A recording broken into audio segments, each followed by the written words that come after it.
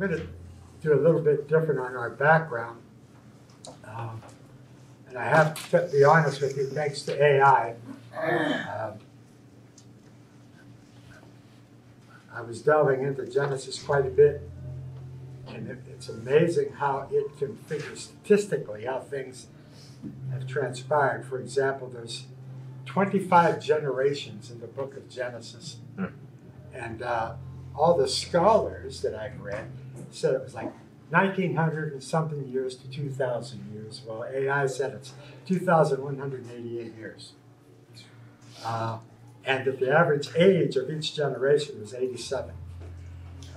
And now we know that some of the folks live longer than that, but when you did the median average, it was that. But uh, 4000 BC was, uh, by what scholars say, was uh, the garden, creation, Adam and Eve. 1500 years later was uh, the flood. In 2067 BC was Abraham. In 2016, Joseph is born to Rachel. Uh, 1898, Joseph is sold to the Israelites or Ishmaelites. Uh, 1887 BC, he dreams of the cupbearer and the baker. Uh, 1886 BC, uh, Pharaoh's dreams. Then here we are in 1875 BC. Uh, 2,000 years later, the book of Genesis. We've just traveled 2,000 years. Uh, and when we grasp that, uh, that it's just amazing. And think with me here. We don't have the law yet. Moses hasn't been born yet. Uh, matter of fact, 400 years later, when we in the book of Genesis, when we step into the Exodus, the book of Exodus, that's 400 years. That span. Um, and then, I don't know if there's, if there's a relationship to it, but okay, from the fall to the deliverance, 400 years. From the last book of the Old Testament, Malachi, to the first book of the New Testament, Matthew, 400 years. Now, is there, uh, is that pertinent? No, but it, I think it's more than a coincidence. And what it does show, you know, the Bible tells us that a day in the sight of the Lord is a thousand years, and a thousand years is a day. So when we go through, right now, we're, we're in two days of God's sight. But what really uh, is amazing to me,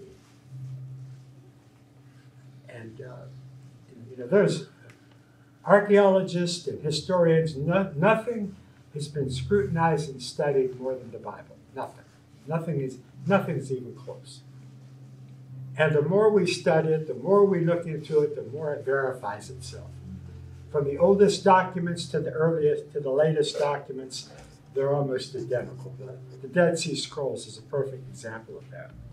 But what we need to understand here, this this 2,000 years is a verbal tradition. Parents passing on to their children, to their children, to their children, to their children. And that is, I believe, the preservation of God, making sure that it is passed on accurately.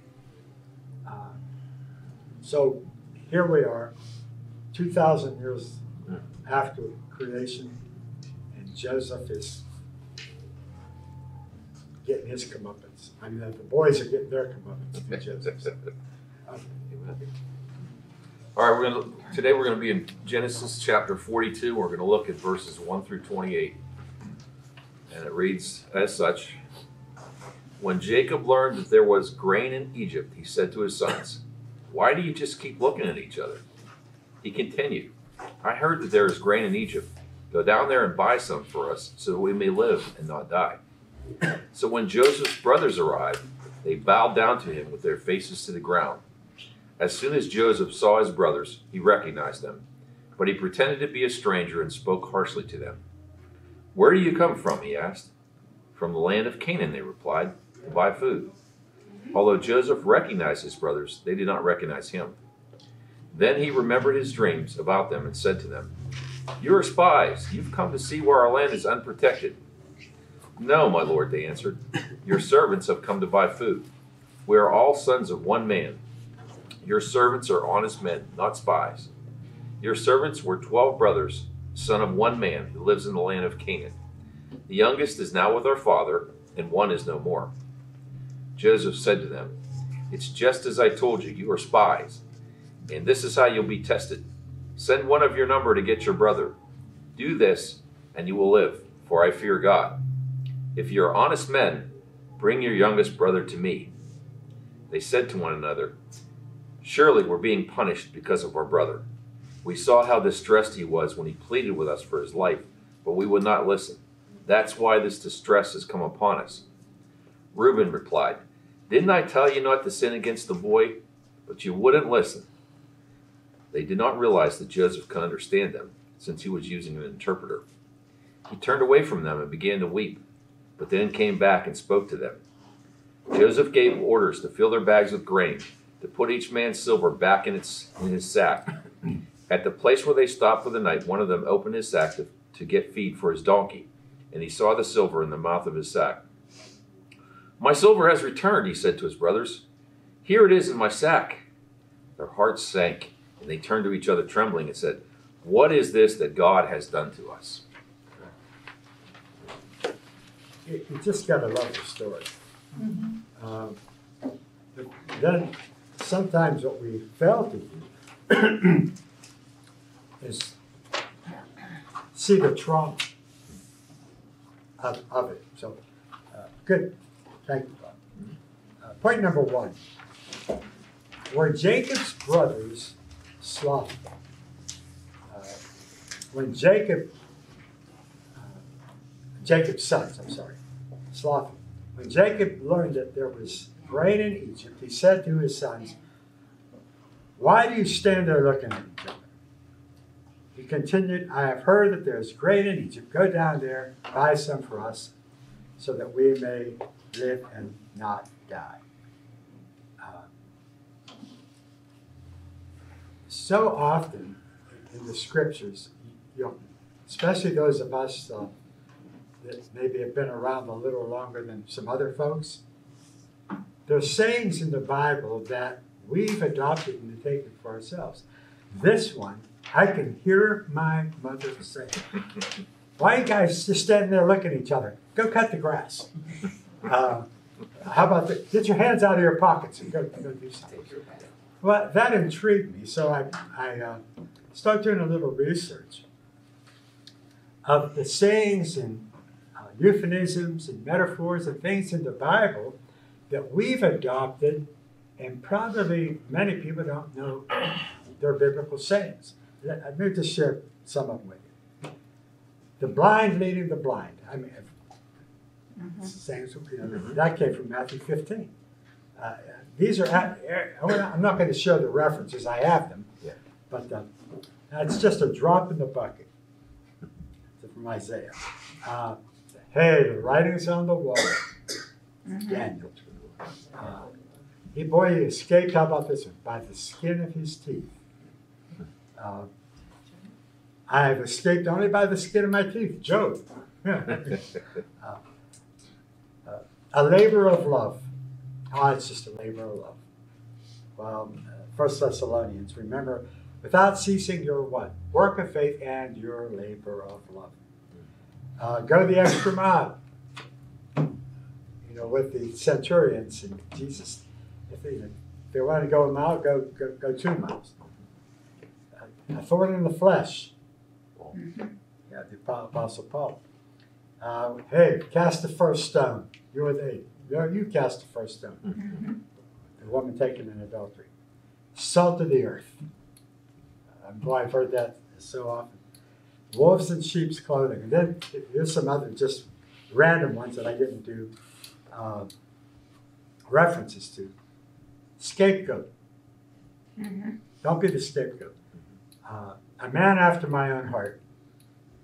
Uh, don't put don't put words in my mouth. Feet of clay. Bite the dust. Uh, a fly in the ointment. A drop in the bucket. Uh, just there, there's there's so many. Uh, and I, I thought about this. So many sayings that we've had traditionally over the years have been biblically based. A lot of things that I just said right now, my my grandchildren would just look at me. Not because these sayings aren't used because we've lost the, the Bible as the foundation of our language. I'm a, uh, I consider myself somewhat of a wordsmith. Um, not, you know, uh, not a very good one, but I, I love words. and one of my favorite books that I have is I have both editions of Noah Webster's 1828 Dictionary of the English Language. I'll give you a hundred dollars for every word in that dictionary that is not biblically based if you give me a dollar for every one that is. Our foundation was based on the scriptures of our language, the English language that we have. Uh, really, Webster just continued would use, I, I don't mean alluding to scripture, just flat out scripture references to the proper use of, of the word. And one of the uh, my go-to scripture so often, uh, Psalm 11, verse 3. You'll hear me say it often. If the foundations are destroyed, what can the righteous do? If we lose our language, what are we going to do? If we mutilate or change the meanings of words, what are we going to do? Uh, and so when we, I, I've taken a great liberty here, forgive me for that asking the question, were the boys slothful? Uh, you know, why you stand there looking at each other? Let, let's go. And, um, and I think that is a legitimate question. Were they slothful? You know, were they just standing, you know, these are, they weren't kids. You know, the youngest, uh, Benjamin, uh, Joseph here is in his 20s. So, you know, uh, the older brothers, should have been blamed more. So, anyway. I venture to say that Webster probably turn over his grave if you looked at some of the words that are in there in the newer versions of the Right, it- it's not only that, it's the total mutilation of words that out there. Marriage, the word marriage. I mean, our, when, when our Supreme Court, I mean, they're the ones who are to say and define what the law is and the foundation of the law, and it's based on our Constitution. When they redefine marriage, can be between a man and a man, or woman and a woman.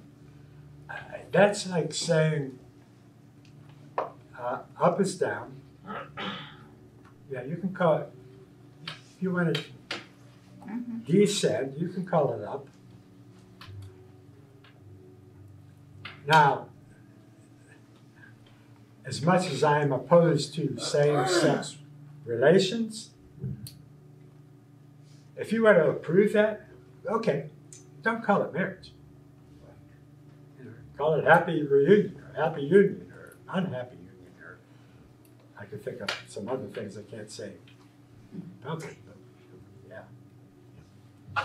It, is amazing when, when, when you read through some of the founding fathers' words, how much they realized importance of keeping the Bible at the center of everything that we do and the teachings in the Bible. And, and, and see where we're at now. We kind of understand why. Let, let me, uh, um, I one up for you there? yeah, I got it. I, this is one of the two eighties that will be coming out next week. when reading the Bible, the Apostolic Fathers, or even classic literature, here's what I've observed. Literarily, in our vocabulary, in our writing, in our insight, in our understanding, we have become ignorant. And I said, I myself, the most ignorant. My people are destroyed for lack of knowledge. Hosea 4 6. Uh,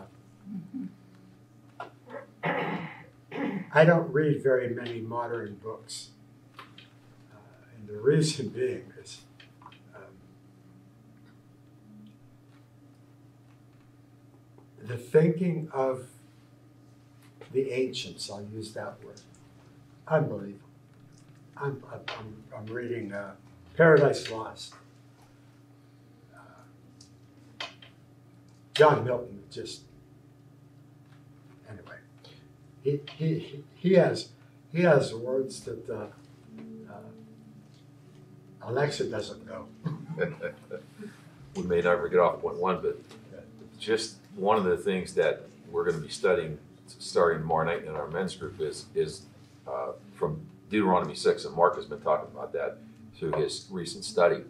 And you know, it's love the Lord your God with all your heart, with all your mind, with all your strength, and love your neighbor as yourself. And in the Shema, the, the Jewish um, translation of that, it was it was so important. And you read all the way through Deuteronomy six, where where it tells us and instructs us as parents, as fathers, to teach our children, you know, from the time we get up till the time we go to bed, all these things, and we have lost that Mm-hmm. tremendously, and that's why this generation is where it's at now because we haven't done that, and I'm guilty myself at times of not doing that with my kids and my grandkids, but but it's so important, and and to start get back to the beginning. That's where we're going to start to, tomorrow with our with our study of discipleship. That's where we got to go. That's the beginning of the wisdom, and that's the beginning of how we're going to turn this thing around. If we really, we have to look back and, and see that, and and and. and and confess where we've fallen short and, and take up the mantle and say we have to make an impact in the lives of the ones that we can affect, which are in our families starting. So anyway, sorry, I'm on my soapbox. Um, number two, was Joseph wise in his deceit?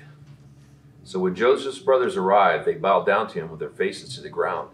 As soon as Joseph saw his brothers, he recognized them, but he pretended to be a stranger and spoke harshly to them. Where do you come from? he asked. From the land of Canaan, they replied, to buy food. Now,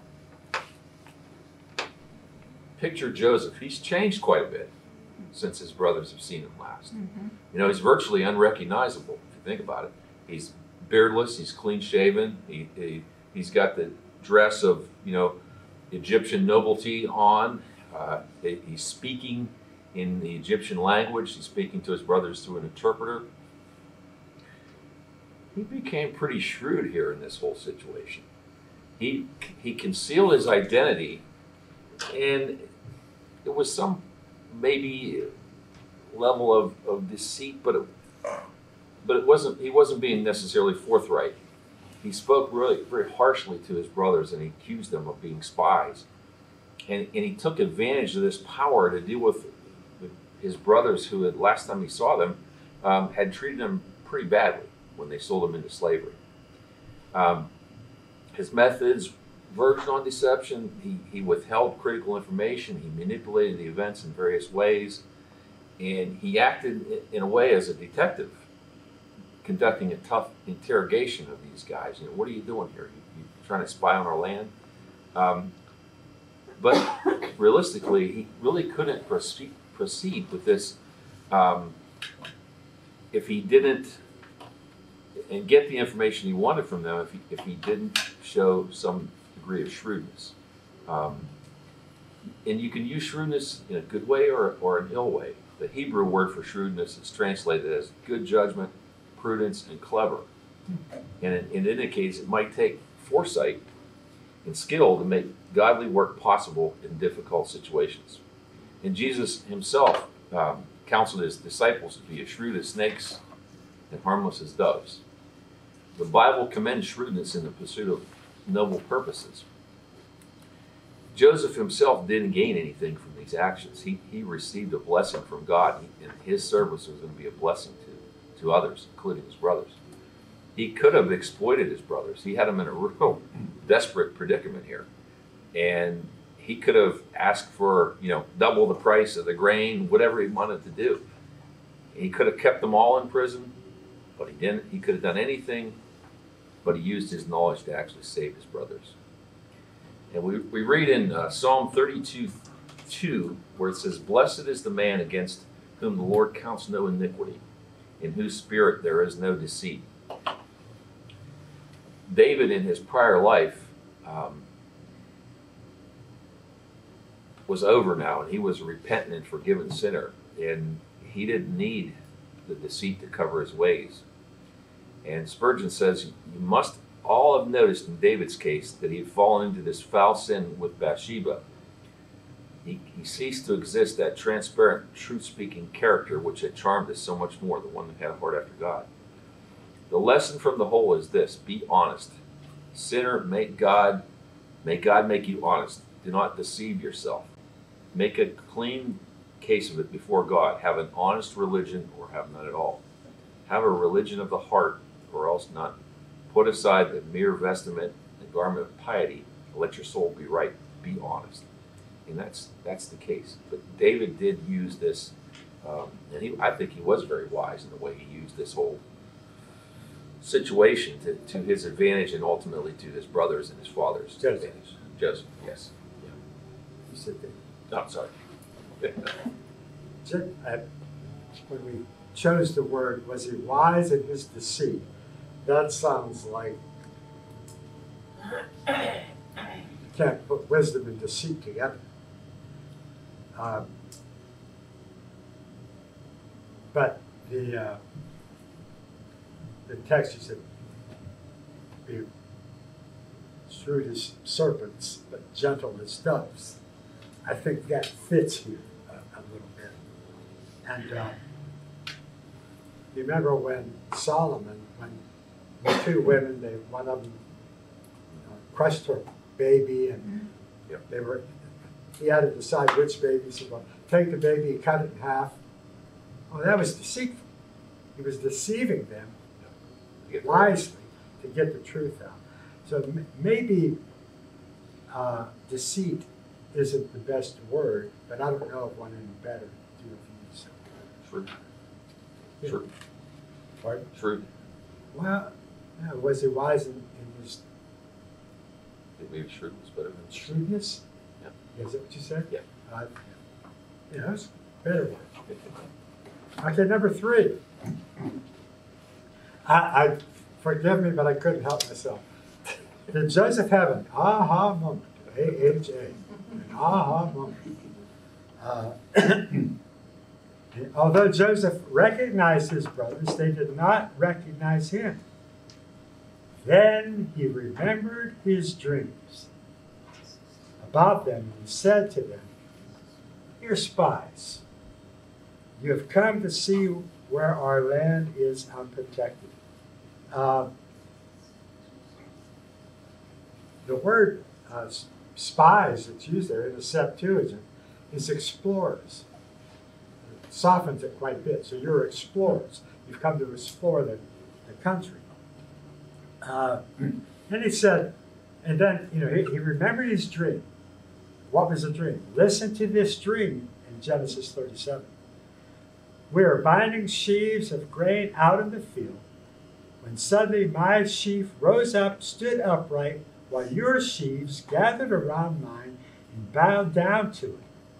I had another dream, and this time the sun, the moon, the eleven stars, those, you know, ten of them were standing before it, were bowing down to me. Uh, this is probably 10 or 12 years later, I'm going to imagine, since his brother sold him. Uh, and, and Judah I, indicates that he thought he was dead. You know, uh, later on when we read the text, it sounds like, like, he, like he was dead. And so he, this memory, this aha moment comes. I dream. I remember my dream. Mm-hmm. And then you think about that dream that, and listen, I'm sure Joseph remembered that dream. Because that's what turned his around. They hated him Yeah. because of these dreams. And here they are. What are they what are they after?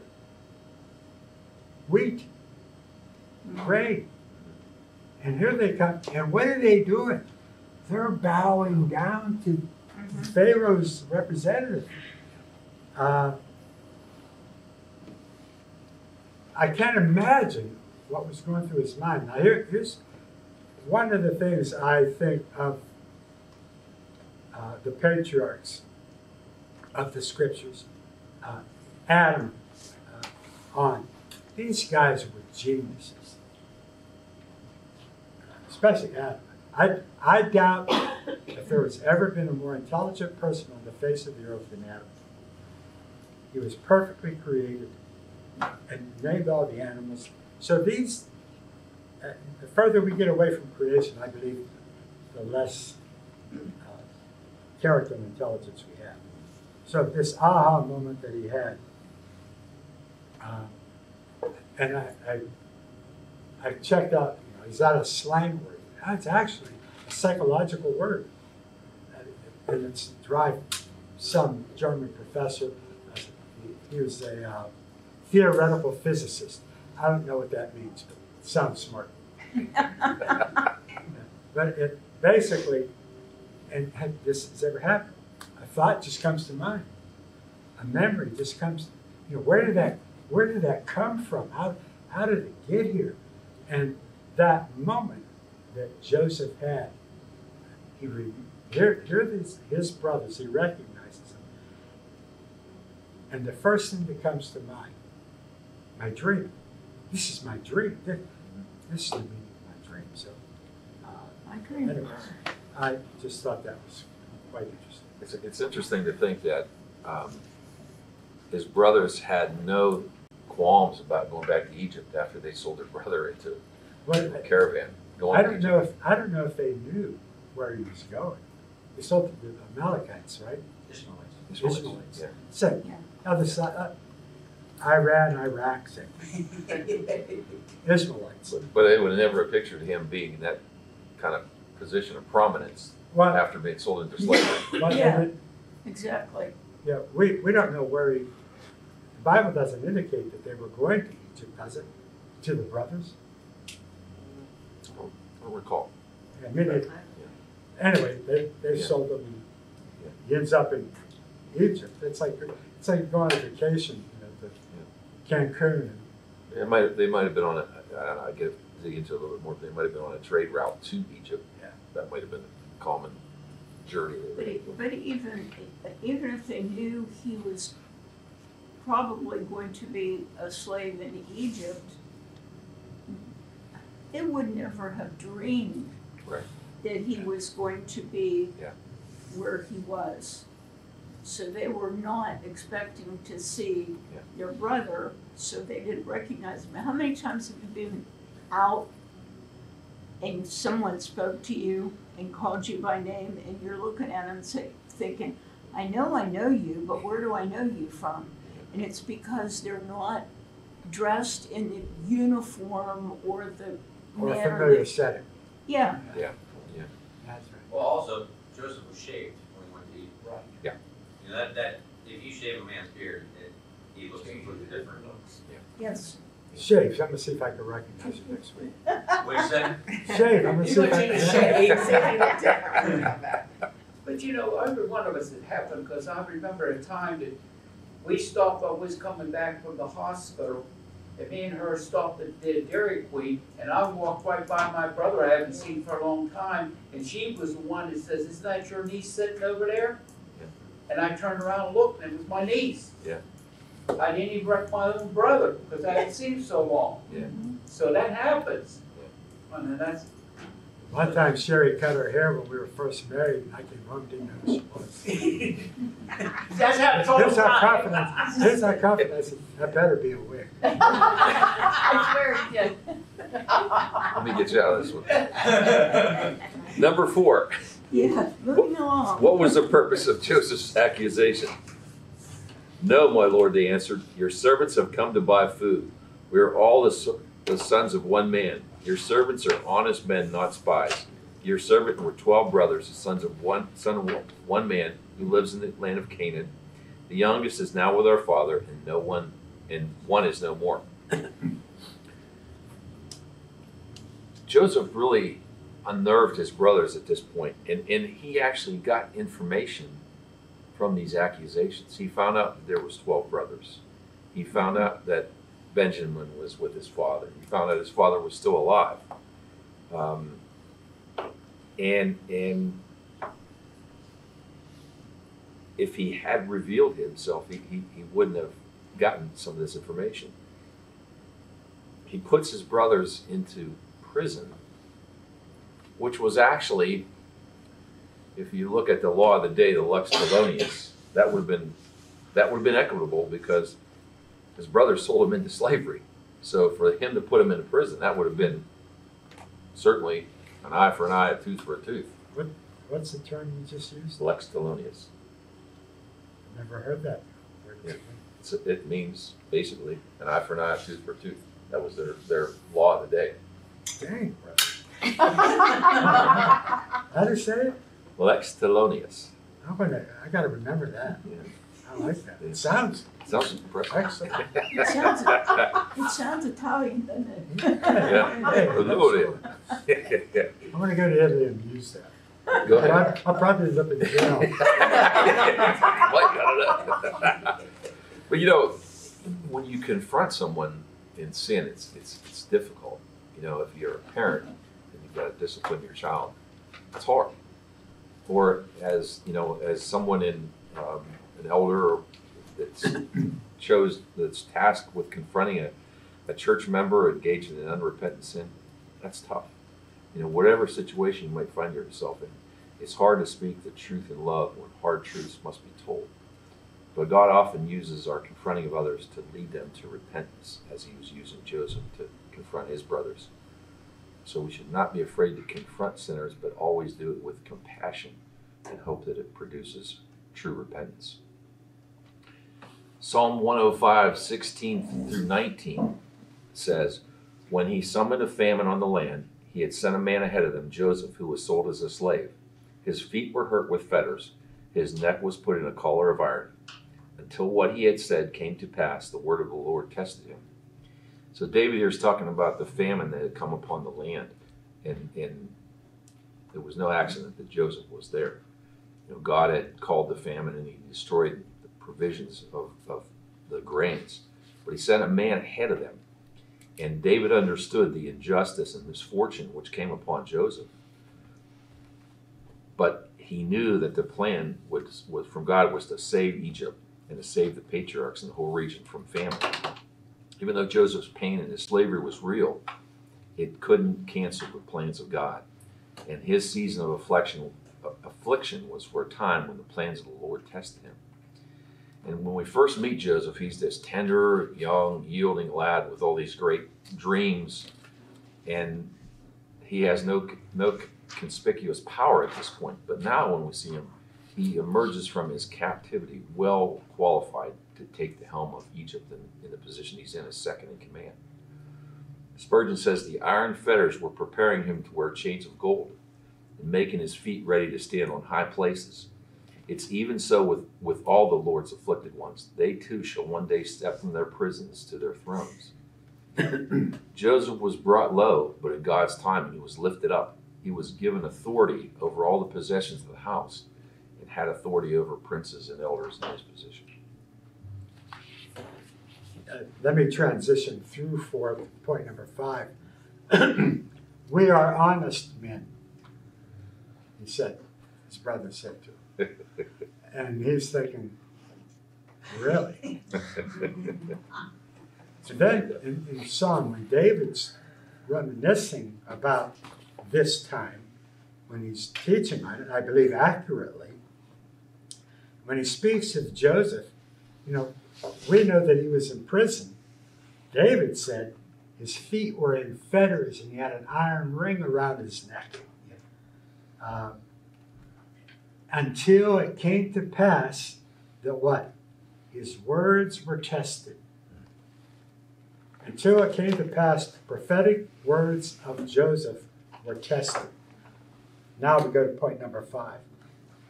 What was Joseph's testing? Joseph said to them, Is it just, it is just as I told you, you are spies.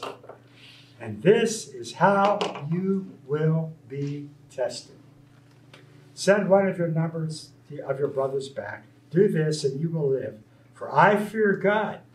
If you're on, if uh, answer that question, if you are honest men, as you just said, bring your youngest brother to me. Uh,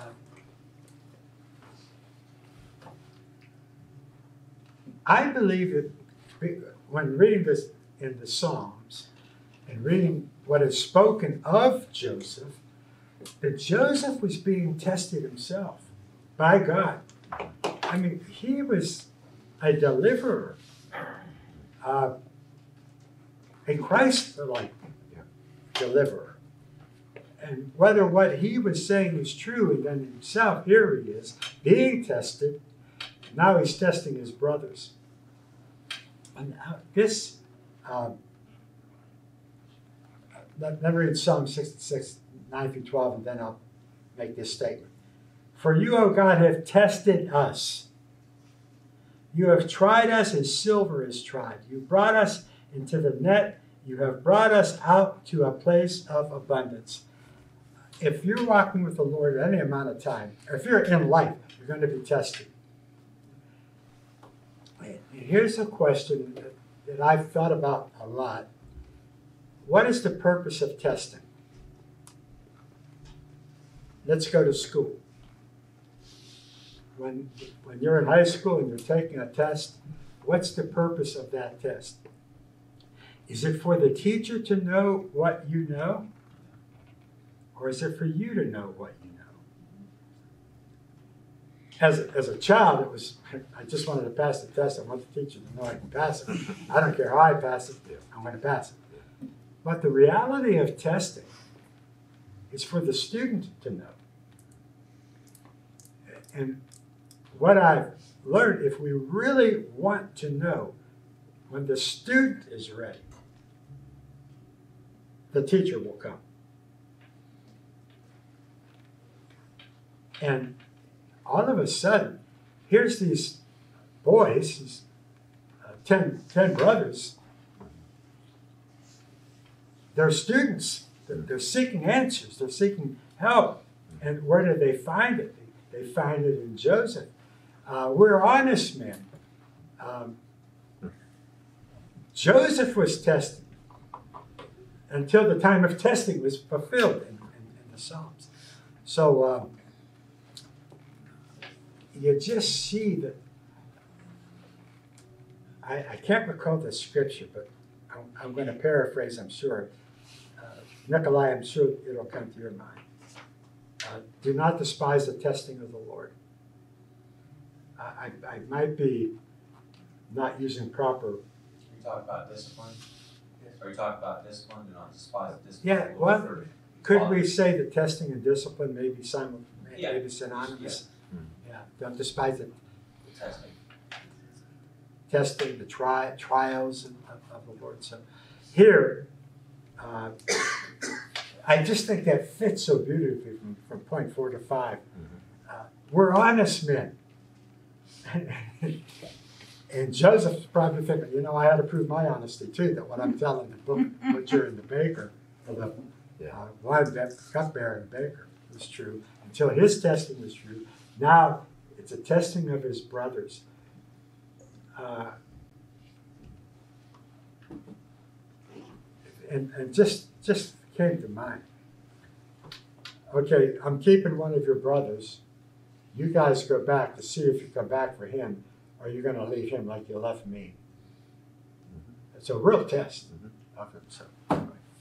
Hey, Tony, do you think that when Joseph was thinking here, he was, might have been thinking, I can get even with my brothers now? I hope not. You and me, yeah, that would have been our. That's what I was just sitting here thinking. Well, as my mom would say, they got their comeuppance. Yeah. Well, there's, you know, think about which brother that Joseph took. Joseph took Simeon, who's already like caused his family a lot of trouble because, you know, they went and slaughtered that whole town of people. You know, think about, did he get his comeuppance? Is that a part of his comeuppance? That he was the one that was, like, why did Joseph select that brother? Cause everything, He, he was, uh, the brothers that, that did the attacking of, uh, Shechemites. yeah, they were from, they were the firstborn of the concubine, the the first concubine who was, can't remember. Uh, yeah. They were, they, he was one of the older brothers, right? I was just, you know, because Reuben was the firstborn. You know, if you want to take a, a prisoner in that time, Yeah, but Reuben tried to save him, Yes. maybe. Yeah. We'll find out someday. Yeah. But it's, I, I love that, I love that thinking. Okay. Point number six. What prompted their guilt? They said to one another, Surely we are being punished because of our brother. We saw how distressed he was when he pleaded with us for his life, but we would not listen. That's why this distress has come upon us. Joseph's brothers were a little late to recognize their guilt in selling Joseph into slavery.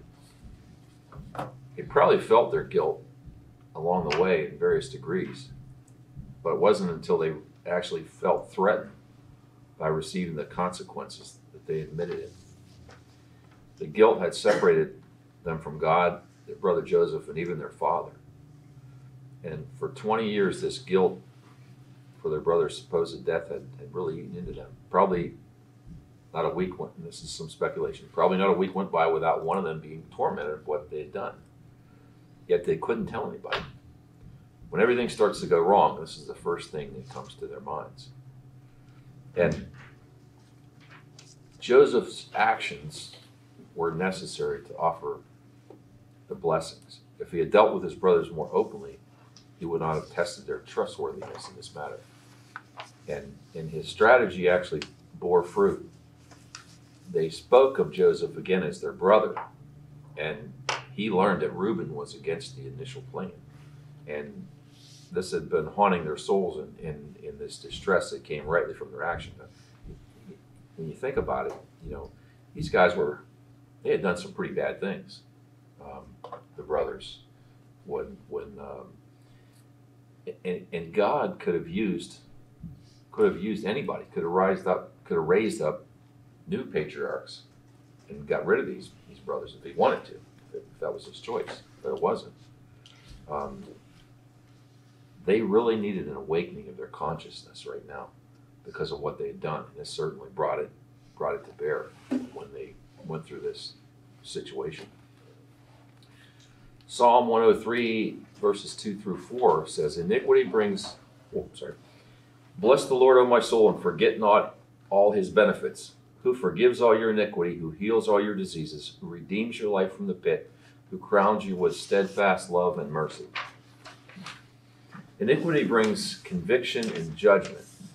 And Paul here describes a self indulged person as dead even while he lives. David saw that the sinful act of adultery as something that was desirable at first, but later this iniquity gnawed away at him until he received his forgiveness. And, and when Nathan came and told him about the stolen lamb, it really brought it to bear upon, upon him when he realized that that man was he that was talking that Nathan was talking about. I'm going to imagine this is Reuben speaking. I, I don't, I didn't look in context. We saw how distressed he was, and he pleaded with us for his life, but we wouldn't listen. Oof. What's the timeline there from the time they left him until now? Twelve years? Well, he was. Uh, I have it. Um, 1898, he was sold into, to the Ishmaelites. in eighteen seventy-five, so he was seventeen, and we're talking Thirty. another twenty-eight, Twenty-eight years. no, twenty-eight years 23. old. Oh, okay, so seventeen to twenty-eight. So eleven years. So I think it's just another case of God's mercy on the brothers. Who, uh, like you said, Reuben, he, he's just dealt with his guilt every moment of his life.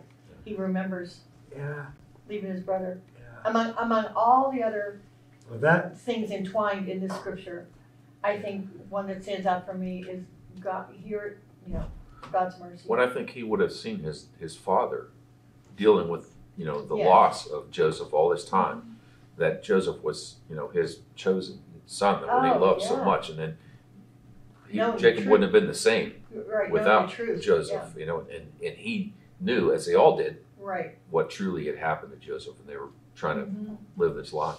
Psalm one oh three, he forgives all your iniquity. Um,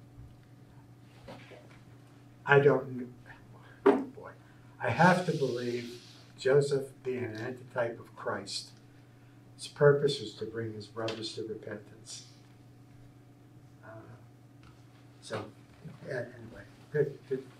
Also, Bob, the Yes. scripture that you referenced, um, in Psalms, uh, one oh five, uh, somehow initially, you, I visioned them in a dungeon, but just sort of around talking Yeah. with the bread maker and the cupbearer. And yet, I never thought, you know, his feet were hurt with feathers and his neck was put in a collar of iron. So for years, he's down there with a collar of iron. Yeah. Yeah, I, I, that put a new perspective on what my vision Mhm. of the dungeon was, you know, the jail. Yeah. Horrible, can't imagine. Uh, point number seven, because we have to hurry up, uh, we're gonna have cake. That's right. Have you ever used the term, I told you so? Uh, Anybody else enjoy it as much as me? I think if might have you're, heard that voice. I think if you're a parent, if you're a parent, Yeah. you said it at least once. Or a husband. Uh, Reuben replied, Didn't I tell you not to sin against the boy? But you wouldn't listen. I think this indicates to me that Reuben thought he was dead. Reuben thought Joseph was dead. And we're, we're getting our comeuppance because we killed our brother. Yeah. And now it's coming back on us. Uh, Behold, you delight in the truth. And this is speaking of God in Psalm 51 6. Behold, Lord, you delight in the truth and the inward being, and you teach me wisdom in the secret, in the secret heart, in that secret place of who I am. As we as we're studying this, what I'm seeing is the whole purpose of all of this. If I could put it in one word, it would be repentance. Mm-hmm. God to bring his people to repentance. His these are his chosen people. He, you know, the, the pillars of heaven are built on these guys. Uh, and he never forsake never forsook them, even though they had forsaken their own brother. Uh, and now uh, bringing it all ab- about. And uh, I, with Reuben, I don't think this was blame. I think it was maybe pleading. God, didn't I tell you? Anyway, All right, point number eight. Was Joseph showing mercy or, reve- or revenge? They did not realize that Joseph could understand them since he was using an interpreter. He turned away from them again and began to weep, but then he came back and spoke to them again. Joseph gave orders to fill their bags with grain, to put each man's silver in his sack. At the place where they stopped for the night, one of them opened the stack to get feed for his donkey, and he saw his silver in the mouth of the sack. My silver has been returned, he said to his brother. Here it is in my sack. Their hearts sank, and they turned to each other, trembling, and said, what is this that God has done to us? I think, this is me, I, I think that Joseph was showing mercy to his brothers. Um, that the tears that he that he cried in, as he thought about the strategy, what he was putting his brothers through, I think that reveals to us that there was mercy. And he, he bound his brothers, uh, Simeon, and, and I think it was a check to see if the brothers would take the money and run, or if they would actually come back for Simeon, because they could have easily done that. You know, they had the grain, they had their money back. Would they care enough to come back for their other brother? They've already rejected Joseph, left him behind. And I think Joseph shows a, a, a powerful redemptive way of responding to that hurt that he that he had when every fiber of his being would have been crying out for revenge. I mean, let's let's face it, if it was one of us and something, you know, our brothers had done that to us, it would be hard not to want to seek revenge for that. Um, this is the essence of the Chris, Christian gospel of reconciliation. And Paul said it really well in, in Romans 12, 9 through 17. He said, Let love be genuine, hate what is evil, hold fast to what is good, love one another with mutual affection, outdo one another in showing honor. Do not lag in zeal, be ardent in spirit, serve the Lord. Rejoice in hope, be patient in suffering, persevere in prayer, contribute to the needs of saints, extend hospitalities to strangers. Bless those who persecute you, bless and do not curse them. Rejoice with those who rejoice, weep with those who weep. Live in harmony with one another. Do not be haughty, but associate with the lowly. Do not claim to be wiser than you are. Do not repay anyone evil for evil, but take thought for what is noble in the sight of all. Well, that just, to me, really speaks to, um, you know, our, our instructions. Psalm 25, 6 and 7 says, Remember your mercy, O Lord, and your steadfast love, for they've been from of old. Remember not the sins of my youth or my transgressions, according to your steadfast love. Remember me for the sake of your goodness, O Lord. And it's, you know, in the in the song of redemption uh, that Moses uh, referred to, um, both God's mercy and love, and he and after they had crossed the Red Sea, and he said, "You've led in your steadfast love with people who you've redeemed." And, and God does show mercy and love to us, thankfully, because we've all got a past. We've all made mistakes. Uh, even David, whose heart was after the Lord's, made some bad choices and bad mistakes. And God cleansed him from his You know, it kind of haunts me. I think I would have, hopefully not, but I think I would have been seeking revenge. Yeah. Boy, forgive me. But I don't, I don't know that, your brothers, your brothers, they're your brothers anyway. Uh, my brother said torture me. My, Exactly, and you my, love my them. brother Jimmy one time threw me in a septic tank for three hours. I know, but you loved them, they were your brothers. He must have just read this story. I was just thinking. They That's left me it. hanging in a tree one time for a half a day. Absolutely. They put me in a drum of a biblical. dryer and rolled me over a hill. And if it wasn't for my brother Joe, he made me marry her. One, one last thing, when we think about this story, you know, um, Paul had said something earlier about God brought the famine, God brought Joseph there. When we look at the story as a, as a small, as a small section of it, we miss out the bigger picture.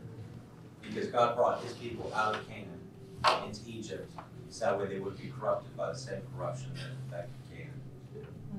You know, we, when we see that, that major work of mercy, when we, when we look at the mic, the smaller scale of it, Mhm. we see more and more how the individual parts of the story, God is redeeming mm-hmm. his people. Not just on a small scale, but on a whole large scale. Right. And the big and the big picture is then then from Egypt to the Back to promised land, you know, through Moses. I'd like to close with a poem. Rex is a friend of mine. He's been around a very long time. He remains young at heart. His opinions are tart. His influence remains weighty. But what the heck? Today he's 80. Eighty-five. 80. Five. It doesn't, 85 doesn't rhyme. And you ought to thank me, Rex. I just gave you five extra years.